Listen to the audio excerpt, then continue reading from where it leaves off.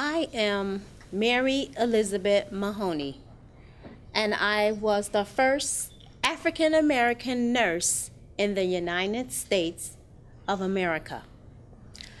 I am the oldest of two siblings, born on 1845, May 7th, to Charles and Mary Jane Mahoney. I was born in Foxbury, North Carolina, which was a slave state. But my parents wanted to move up north to a free state, and we moved to Boston, Massachusetts, before the Civil War. I always knew that I wanted to be a nurse, so I started working at the New England Hospital for Children and Women, which was owned by a group of female doctors. I worked long hours, seven days a week. I was a cook, I was a janitor, I was a maid, and I was a washwoman. In 1878, I signed up for the nursing program at the hospital. My class consisted of 12 months of working on the maternity ward, the medical surgical ward, and doing four months of private duty, which is what I loved. The next year, I graduated as the first African American nurse. There was 42 students in my class, only four of us graduated.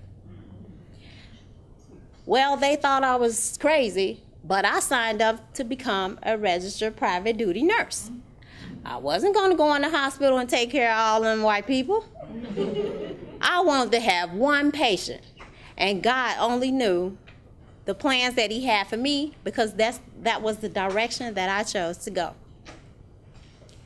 Before I knew it, I was wanted in Washington D.C. as a private duty nurse. Even back in the slave state, North Carolina, they wanted me.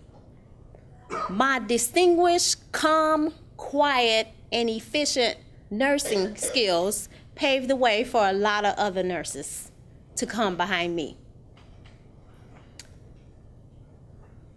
I decided that I wanted to um, become an activist because there was a lot of racial discrimination for the nursing profession. So I decided to become a part of the National Association for Colored Graduate Nurses, which was established in 1902.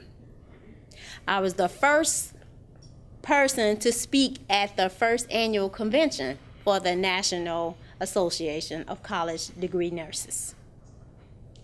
This gave me an opportunity to let my hospital graduating um, class know that we need they needed to employ or enroll more African American nurses.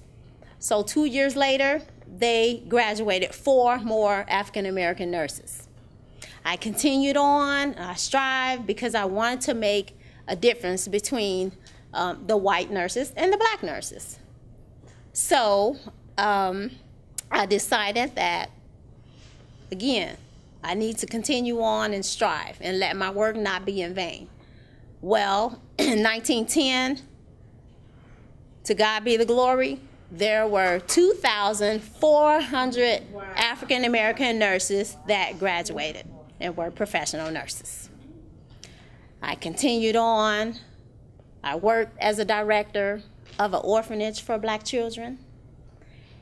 And then later, I retired and I decided I was going to be an activist. And I thought that women needed to vote. So I pursued that endeavor. And I became one of the first women among the Boston women after the 19th Amendment was put into effect to vote. And I was 76 years old. Now I'm 81 and I was admitted to the hospital where I trained at. with breast cancer. But to God be the glory.